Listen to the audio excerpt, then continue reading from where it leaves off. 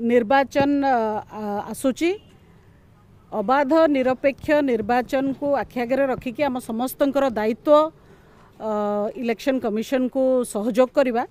ଆମେ ଦେଖୁଛୁ ଯେ ଦୁଇ ହଜାର ତେଇଶ ଡିସେମ୍ବର ଏକୋଇଶ ତାରିଖ ପାଖରୁ ଇଲେକ୍ସନ୍ କମିଶନ ଗୋଟେ ଚିଠି କରିଛନ୍ତି। ଯେଉଁଥିରେ ସ୍ପଷ୍ଟ ଭାବରେ ଲେଖା ହେଇଛି ଯେ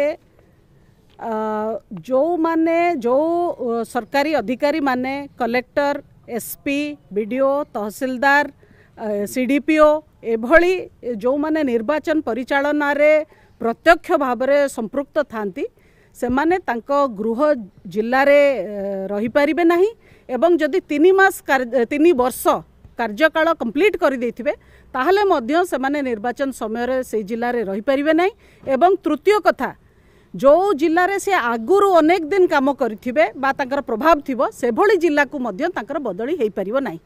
ଯଦି ତାଙ୍କର ତିନି ବର୍ଷ କମ୍ପ୍ଲିଟ୍ ହୋଇଯାଇଥିବ ଯଦି ସେ ନିଜ ଗୃହ ଜିଲ୍ଲାରେ ଥିବେ ତାହେଲେ ତାଙ୍କୁ ଅନ୍ୟ ଜିଲ୍ଲାକୁ ଟ୍ରାନ୍ସଫର କରିବାର ସ୍ପଷ୍ଟ ଗାଇଡ଼ଲାଇନ୍ ଆସିଛି।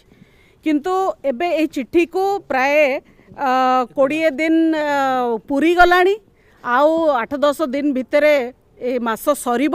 କିନ୍ତୁ ଏବେ ଯାକେ ବି ରାଜ୍ୟ ସରକାର କୌଣସି ପ୍ରକାରର ଟ୍ରାନ୍ସଫରର କିଛି ଟ୍ରାନ୍ସପେରେଣ୍ଟ ପଲିସି ବା ଟ୍ରାନ୍ସଫର କରିବାର କିଛି ସୋର୍ସ ଶବ୍ଦ ଶୁଣାଯାଉନାହିଁ ୟାର ଶେଷ ତାରିଖ ରହିଛି ଜାନୁଆରୀ ଏକତିରିଶ ଏବଂ ୟା ଭିତରେ ଗୋଟେ ଆପଣମାନେ ଜାଣିଛନ୍ତି ଟ୍ରାନ୍ସଫର ଅର୍ଡ଼ର ଆସିଲା ପରେ ଗୋଟେ ଟ୍ରାନଜିଟ୍ ପିରିୟଡ଼ ମଧ୍ୟ ଥାଏ ଯେଉଁ ସାତ ଦିନ ସେମାନେ ଯିବା ପାଇଁକି ଅଧିକାରୀମାନେ ସାତ ଦିନ ହାତରେ ରଖିପାରିବେ ତ ଇଏ ସରକାର କେବେ ଟ୍ରାନ୍ସଫର ଅର୍ଡ଼ର ଇସ୍ୟୁ କରିବେ ଏମାନେ ପୁଣି ତାପରେ ସାତ ଦିନ ଟ୍ରାନଜିଟ୍ ନେବେ କେବେ ଜଏନ୍ କରିବେ ସେତେବେଳକୁ ନିର୍ବାଚନ ଆସିକି ମୁଣ୍ଡ ଉପରେ ପହଞ୍ଚିଥିବ।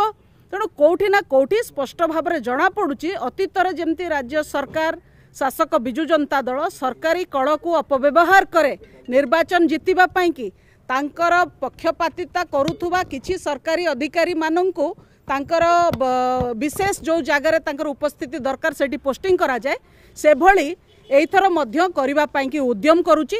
ଏଥିରୁ ସେ ନିବୃତ୍ତ ରୁହନ୍ତୁ। ଆମେ କଥାକୁ ପାଦେ ପାଦେ ଜଗିଛୁ ଏବଂ ଏକତିରିଶ ତାରିଖ ଦିନ କେଉଁ ଅଧିକାରୀର ତିନି ବର୍ଷ ପୁରିଛି ବଦଳି ହେଇନାହିଁ ସେ ହିସାବ ଧରିକି ମଧ୍ୟ ଆମେ ଆସିକରି ନିର୍ବାଚନ କମିଶନଙ୍କ ପାଖରେ ପହଞ୍ଚିବୁ। ଏବେ ରାଜ୍ୟର ତିନୋଟି ତିରିଶଟି ଜିଲ୍ଲାରୁ ଦଶଟି ଜିଲ୍ଲାରୁ ଉର୍ଦ୍ଧ୍ୱ ଜିଲ୍ଲାରେ ଏମିତି ଅଧିକାରୀମାନେ କଲେକ୍ଟର ଅଛନ୍ତି ଯେଉଁମାନଙ୍କର ପାଞ୍ଚ ବର୍ଷ ଛଅ ବର୍ଷ ସାତ ବର୍ଷ ବି କମ୍ପ୍ଲିଟ୍ ହେଇଯାଇଛି କିନ୍ତୁ ସରକାର ତାଙ୍କୁ ସେଇଠୁ ବଦଳି କରୁନାହାନ୍ତି। ତ ସରକାରଙ୍କର କ'ଣ ଇଣ୍ଟରେଷ୍ଟ ରହିଛି? କ'ଣ ସ୍ୱାର୍ଥ ରହିଛି? ଯେଉଁଥିରେ କି ଜିଲ୍ଲାପାଳମାନଙ୍କୁ ଏ ସ୍ପଷ୍ଟ ନିୟମ ଥିଲା ବେଳେ ରାଜ୍ୟ ସରକାର ବଦଳି କରୁନାହାନ୍ତି। ମୁଁ ଆପଣଙ୍କୁ ଉଦାହରଣ ସ୍ୱରୂପ ତିନ ତିନି ଚାରୋଟି କହୁଛି। କେଉଁଝରର ଜିଲ୍ଲାପାଳ ଆଶିଷ ଠାକରେ ସିଏ ଜାନୁଆରୀ ମାସ ଉଣେଇଶ ତାରିଖ ଦୁଇହଜାର ଅଠର ମାସ ପାଖରୁ ଦୁଇହଜାର ଅଠର ପାଖରୁ ଜିଲ୍ଲାପାଳ ଅଛନ୍ତି କେଉଁଝରରେ। ସେମିତି ବିନୀତ ବରଦ୍ୱାଜ ଏକୋଇଶ ଏପ୍ରିଲ ଦୁଇହଜାର ଅଠର ପାଖରୁ ମୟୂରଭଞ୍ଜର କଲେକ୍ଟର ଅଛନ୍ତି।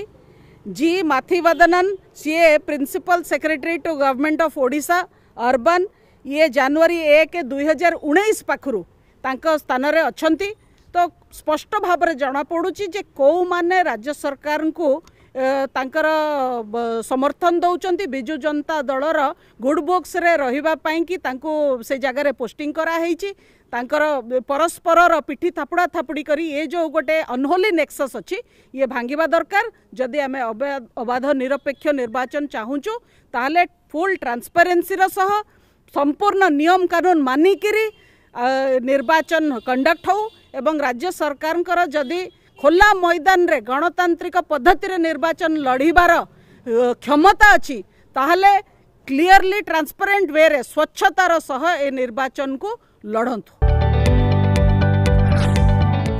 ଯଦି ଆପଣଙ୍କୁ ଆମ ଭିଡ଼ିଓଟି ଭଲ ଲାଗିଲା ତେବେ ଆମ ଚ୍ୟାନେଲକୁ ଲାଇକ୍ ସେୟାର ଓ ସବସ୍କ୍ରାଇବ୍ କରିବାକୁ ଜମା ବି ଭୁଲନ୍ତୁ ନାହିଁ।